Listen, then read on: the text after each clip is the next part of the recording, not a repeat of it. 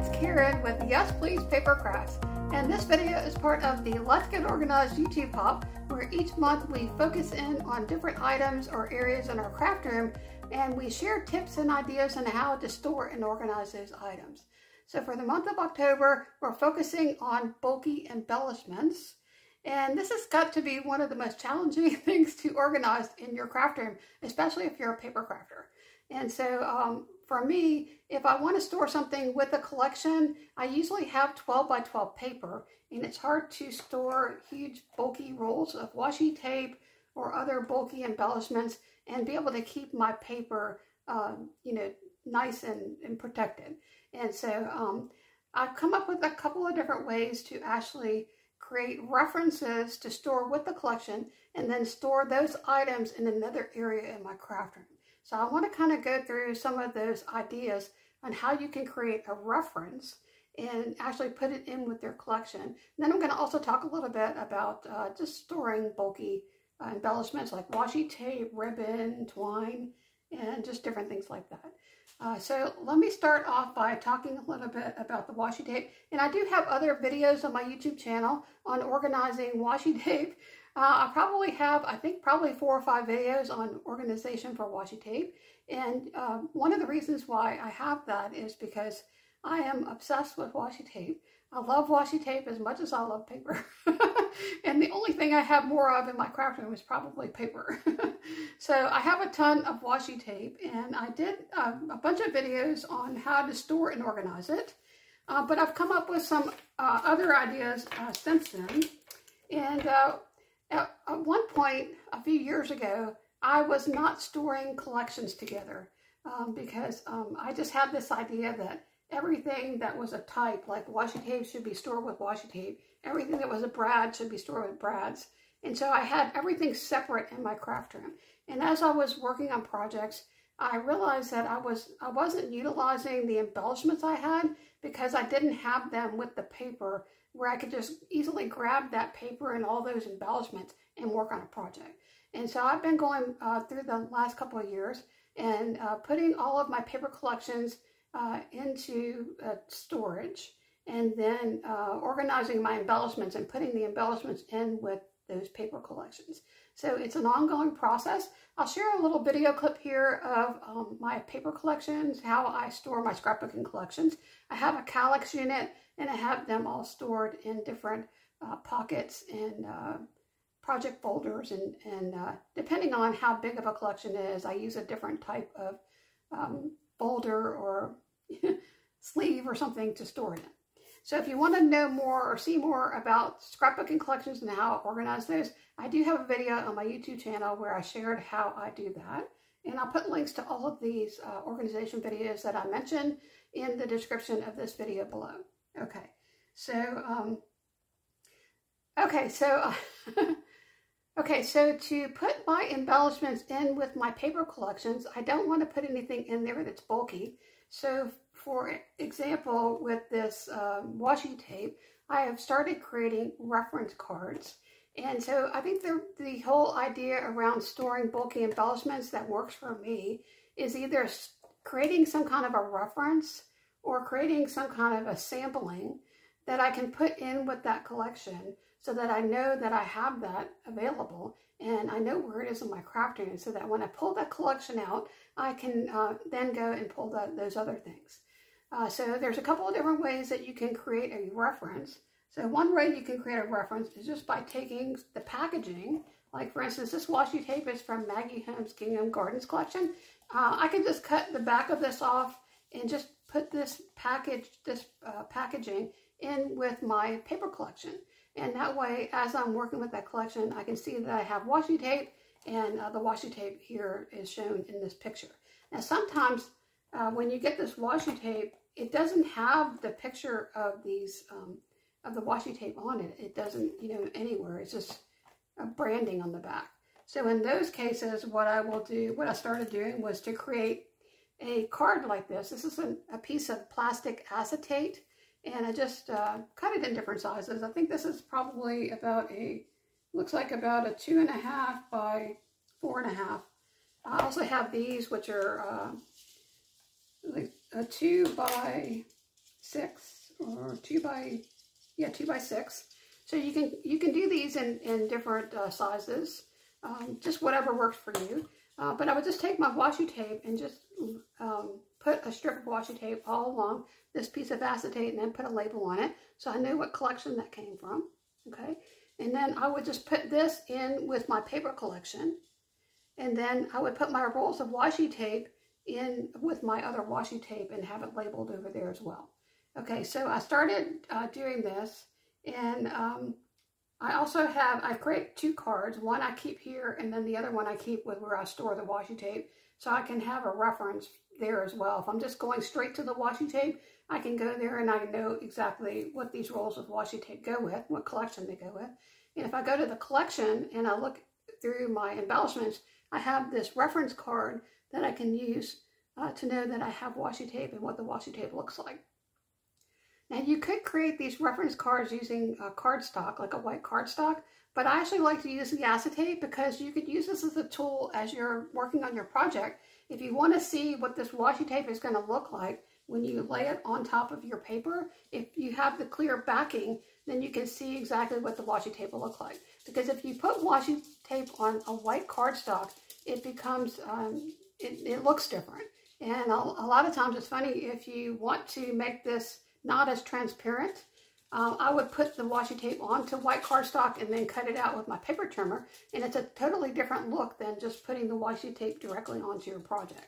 So I think uh, it's fun to have this as a reference to be able to see uh, with the clear backing how this washi tape will look on your project. Okay, so when I'm, I'm doing this, I actually, as I'm going through and organizing, I come up with ideas midway through. and so um, midway through organizing the washi tape and having all these cards that I created to put in with my collections, I, I decided that I would create a whole nother card here and I would put it on this ring, this uh, binder ring, and keep it with my, um, close to my workspace. So if I'm working on a project, I can just quickly flip through here and be able to see different washi tape. Um, so even if I'm not working with the Maggie Holmes Market Square collection, I might uh, want to use this green and pink polka dot uh, on something else. So in that way, I can still use this washi tape with other projects, but I can also know that I have it when I'm working with the collection. And this is a little bit of work. It does require some effort to create these reference guides and reference cards, but it really is worth it in the long run uh, to be able to find your supplies when you want to work on your project. And so for me, it's really beneficial to spend the time organizing and creating reference guides to be able to have this available when I'm crafting so that I don't have to spend time looking for things and I can spend time actually working on my project. So my goal in organizing and creating these reference guides is to be able to know where to find things and also be able to know where to put them away. because one of the things that happens when we have a craft room, you're working on a project, when you finish working on that project, if those things that you're that you used for that project don't have a home, uh, then they usually end up going uh, to different places in your craft room. The next time you want to use that, you won't be able to find it, at least for me. That's what happens. okay, so you can create a reference card like this using acetate or um, white cardstock and um, do that for your washi tape. Okay, so if you have something that's bulky and you uh, you want to keep it with the collection, like this, for example, is uh, crepe paper from the Storyteller collection, and it is fairly bulky. I could take all of these out and repackage them somehow, but what you can do if you have something like this, and I haven't even opened it or used it, I'm just going to keep it like this. And um, then I just took my phone and I, I printed a picture, or I took a picture of this and printed it on some white printer paper. And it's not the best, you know, it's, it's, it's not a photograph. I could have printed it on photo paper, but I feel like this is enough for me to be able to know that I have this available. And then I can just tuck this in with the collection, with the paper collection, and then as I'm working with that collection, I can see that I have this embellishment, it's brads, and then on the back of here, I have written uh, where this is stored in my craft room. And so you can just create little cards like this out of um, printer paper, cardstock, or even um, photo paper. And um, you can just put this in with your collection. And what I'll do is I have a bin or a drawer that I would store all of these miscellaneous brads. I'll just stick it in there with all my other brads. Now, one of the biggest advantages of doing this is that I have it now stored with my collection. So when I go to use the collection, I remember that I have this and I can use it on my layout. Or when I'm working on another project that's not the Storyteller collection, and I want to put a brad on my layout, I can flip through my brads and this will be in there. so it, it actually, um, you know, creates more opportunities for you to use your embellishments uh, with the collection or without the collection, which I think is awesome.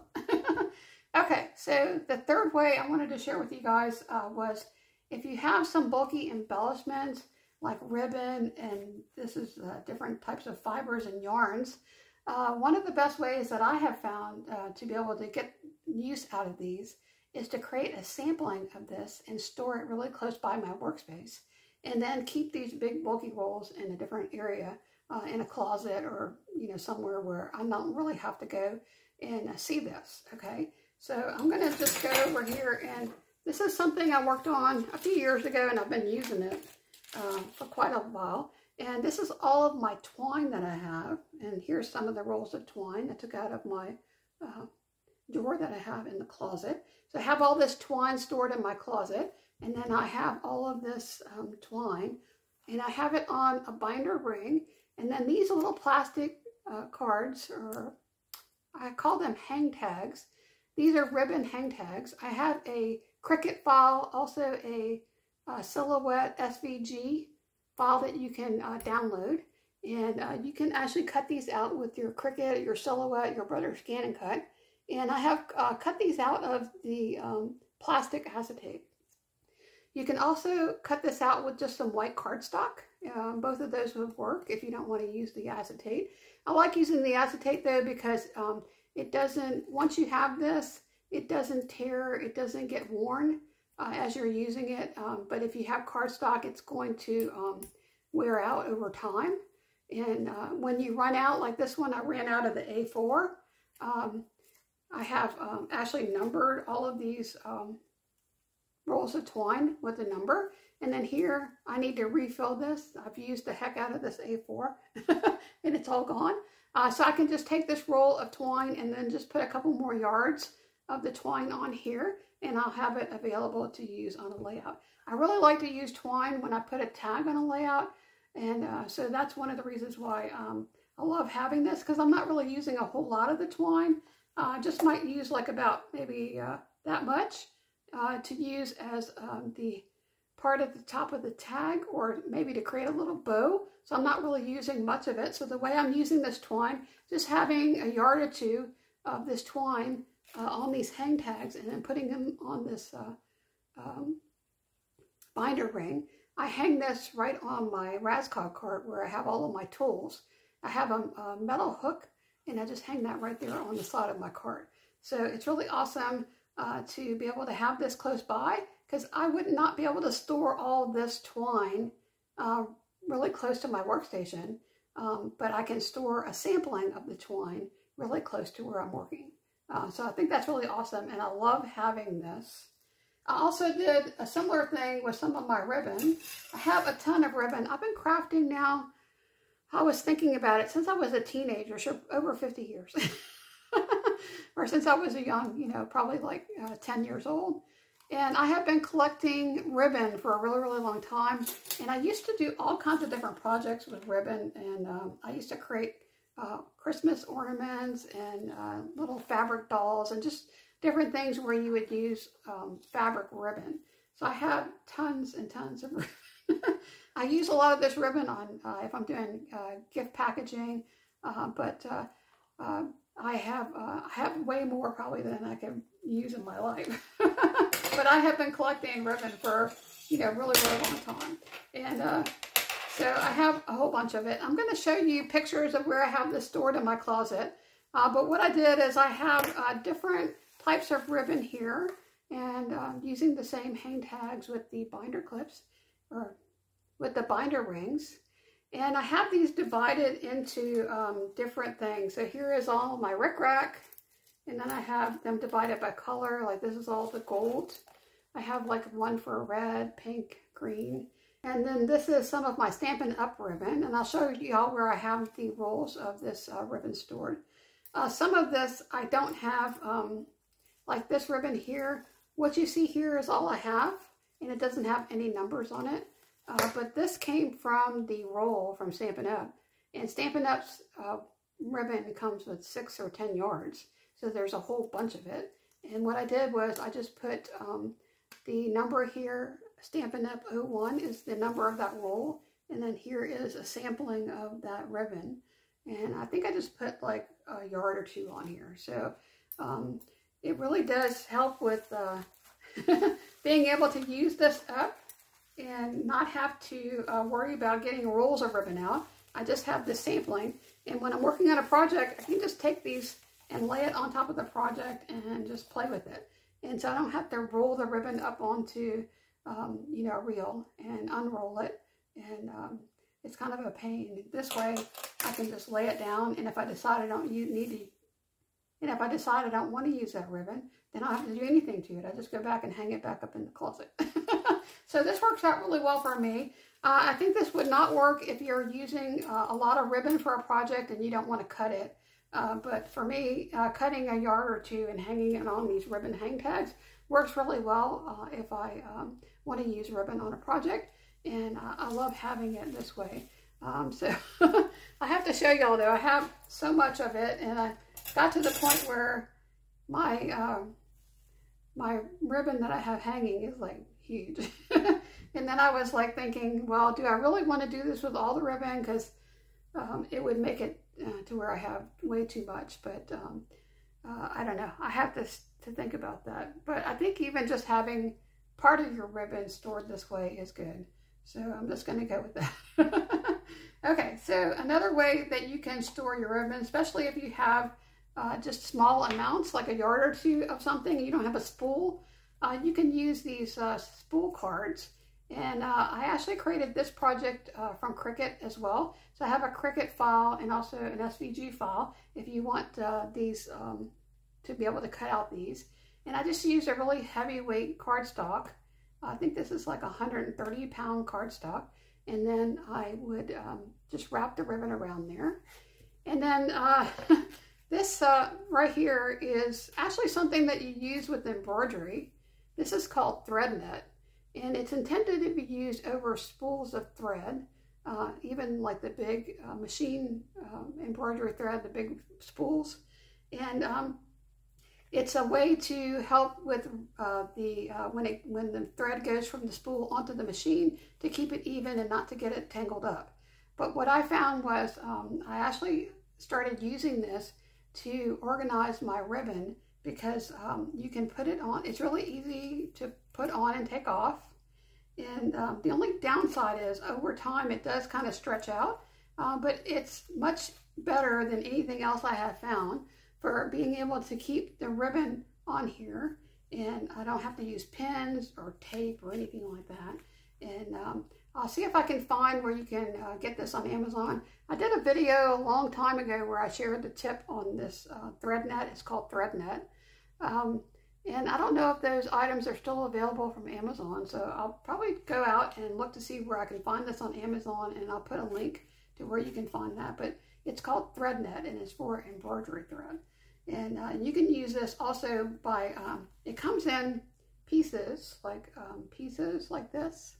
It's like about, uh, I don't know, an inch and a half by six inches, where it comes in a big, uh, like long, windy um, where it does, it's never ending, just shoved into a bag. And you can just clip off the amount you want. So if you want to go around a ribbon spool, you can just cut it to the width of that and wrap it around. So these are three different ribbon spools that I have. Each one of them are different size. And you can see that I have the thread net on all three of these.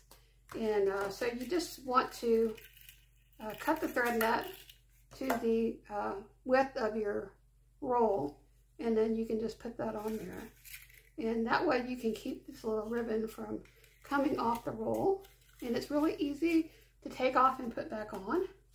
I think one of the biggest things for me is sometimes when I'm working on a project, I take this off and then I can't find it. it floats around in my craft room. So but as, as long as you put it back on there and you don't lose it, then uh, you can keep reusing this over and over again. And uh, we can just take it off and put it back on and it keeps your spool from unwinding. So super cool. so I love uh, having that like that. And uh, one of the things that I have a lot of that I have not done too much with, I have this yarn, it's like fibers. I got this on clearance. I have all kinds of different ones and I usually use this for crochet or knitting and stuff, but uh, I don't do either crochet or knitting. but at one point, uh, these fancy fibers were really popular with uh, paper crafting and using on cards and, and scrapbooking. And so um, I had just kept picking these up as I saw interesting ones in the store. Anything that was on clearance, I would just go and look at it. And um, so I have actually gifted some of this to uh, a couple of my friends, Joanne over at uh, Joanne Bartell. She has a YouTube channel. And also uh, Rosalie Duong over at Can't Wait to Plan. And uh, I just used a spool um, card like this. Um, and I put a couple of yards of each twine on here and uh, sent that to them as a gift. So it's really a lot of fun. If you see one that you really like, just buy it and then you can share it with all your friends. But isn't this pretty? I just love this. It's sparkly. It's all different pastel colors and super pretty. And um, so I haven't done this for myself, but eventually one of these days, I'm going to uh, cut out some more of these spools cards and put some of this on there for, uh, for myself so that I'll remember to use this because this looks really cute if you put it onto a layout or, you know, put it onto the top of a tag. And I usually use my twine, but sometimes uh, if I have this to where I remember, you know, what I have and I have a sampling of it, I might actually use uh, these things more often. And so um, I'm planning to do that at some point, and I'll probably use the same type of system that I did with my uh, twine. I'll put a, a, uh, number, a letter, or some kind of reference on there, and then um, number that on here so that I know uh, where each one of these came from. And if I run out uh, while I'm working on a project, I can go get more of that. And so um, at some point, I'll probably uh, go ahead and do some of the sampling for myself. So I also did a organization video uh, for ribbon, twine, and um, and this organization reference system. I'll put a link to where you can find that video in the description below and how you can, um, you know, create that if you're interested in more about how I organize and store my uh, twine. Okay, so I'm trying to think of the other bulky embellishments that I have in my craft room and how I store those. I think one thing I have is the paper flowers. And I have those stored in my closet and I have them stored by color and just in the original packaging. And uh, what I used was an over-the-door organizer. It's from Rubbermaid and um, it is really cool because it comes with uh, the different little shelves and you can move them around. You can actually put this on the back of a door or you can put it on a wall. so I put this on the wall in my closet and I'll share a picture of it here on the screen. Uh, but I have all my flowers uh, there. Some of them loose flowers in jars by color. And then I have uh, some that just were in the different packages. I also have a lot of white flowers. And I bought these white flowers when they were on clearance because um, one of the things I think that's really fun is if you have something white in your craft room, you can always add color to it. And so I had watched someone's videos where they took white flowers and they painted them. So uh, I had uh, found a bunch of these white flowers at, uh, I think, Tuesday mornings and just on clearance. And so I picked them up, and so I have quite a bit of those. but uh, here's where I have all of my paper flowers stored. Uh, so something else that's a little bit bulky that you might have is wood veneer. And with wood veneer, even though some of my wood veneer came with collections, I don't store it with the collection uh, because I find that wood veneer is so generic. It's all the same color. And even the shapes are very you know, they're very simple uh, because you can't really, there's not really a whole lot to the wood veneer. I just have it stored in a drawer in my Alex drawer unit. And I have a video where I share how I store my wood veneer. I'll put a link to that video in the description below. So if you haven't caught on already and you're not been watching my videos, um, I really do a lot of organization videos on my YouTube channel. Uh, I love organization as much as I love paper crafting. so it's fun for me. I know a lot of people don't like to organize, uh, but I actually enjoy it. And a lot of times I'll just sit down in front of the TV and uh, just work on projects like um, putting washi tape on this plastic acetate. Uh, it's kind of fun to do that. So um, I just like, I think it's relaxing. So putting things in order and sorting through things and making reference cards and reference guides uh, to me is fun. so, and uh, it's also um, really handy once you have it finished. Uh, you have something that you can use uh, when you're crafting. It's really awesome. and uh, I'll just share this with you uh, because I pulled it out and I forgot to talk about it. but I have washi tape in my Alex drawer unit. And I had created this reference book a while back, a long time ago. And I have my washi tape stored by color and I created this really awesome reference book so that I could uh, see what all of my washi tape look like. And it was a lot of fun just to play with the washi tape to create this reference book. And um, I use an old Happy Planner because, you know, Happy Planners, once that year is up, you can't really do a whole lot with that Happy Planner. Uh, I just took my Happy Planner and I uh, covered up the tabs with some washi tape and then added labels. And so I have uh, the different tabs by color, red, yellow, green. Isn't that awesome? it's just fun to look through it because it just looks really cool. we have purple. And then back here I have things like uh, Valentine's. So this is under spring, summer, and fall. And then we have winter. And then here is uh, alpha words. And then we have animals. So it's by color, also by category. And uh, so this way I can look through here and find the washi tape that I want to use for my project. And I can also see what that washi tape looks like because a lot of times washi tape will repeat like this pattern here. Um, if you're looking at the roll of washi tape, there's only so much you can see of that washi tape. And as it winds around the roll, sometimes because it's transparent, it's really hard to see what that design is going to look like. And so putting that down as a sample um, in your reference guide, um, you can kind of see uh, what exactly uh, you have on that roll of washi tape. So it's really a lot of fun, I think, to create the reference guides. Okay, well, if you have an idea of how you store your bulky embellishments in your craft room and you want to share it with me, please leave a comment on this video. So if you enjoyed this video, please give it a thumbs up because it helps me to know what videos y'all like to watch. It also helps YouTube to know what videos to recommend to other viewers. And if you would like to see more videos and you're not already subscribed to my channel, please subscribe. I would love to have you join my community.